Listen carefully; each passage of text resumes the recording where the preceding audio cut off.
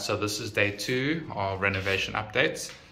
The whole kitchen wall that was over here coming along this way with the doorway over here is all gone.